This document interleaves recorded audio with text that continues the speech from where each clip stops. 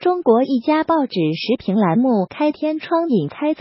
浙江钱江晚报二十六日的时评各论版净空了一大块舆论猜测，不知这块天窗是因为抗议检查，想让读者知道真相，还是另有深意？广告在中国开天窗一直被视为敢言报社对抗中共官方新闻检查的手段。有媒体发现，十一月二十六日，浙江钱江晚报的时评各论最上面板块竟然空出一大块，引起舆论猜测。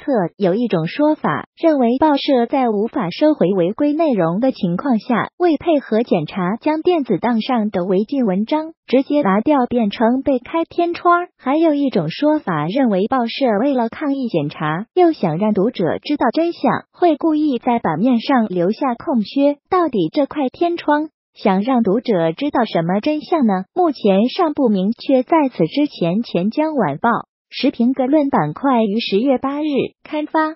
浙江传媒学院文学院副院长赵思运迎新致辞节选文本道义担当不能成为稀缺资源，其中删掉了公共知识分子 the public intellectual 被严重污名化，我们有必要为这个概念正本清源等被认为敏感的语句。目前该报网络版上该文已被全文删除。取而代之的是一块空白版面。十一月二十六日，浙江钱江晚报的时评各论最上面板块竟然空出一大块，引起舆论猜测。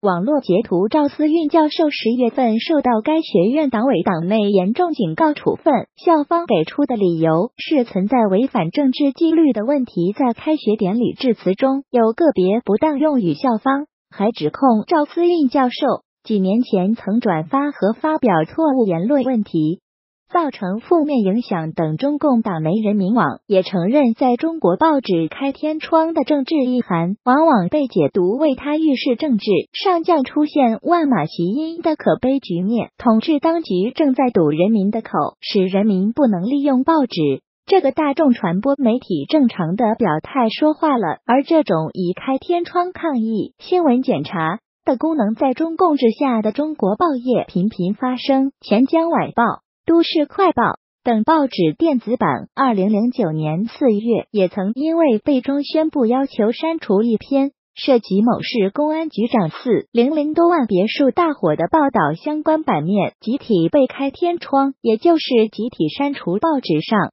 已经刊登的稿件。二零一一年七月，温州列车追撞惨案发生后的第七天。中共下令媒体不再做任何报道，百家媒体不顾当局禁令，不约而同悼念死难者。有报章头版直接以开天窗方式表达纪念，并对官方表示抗议。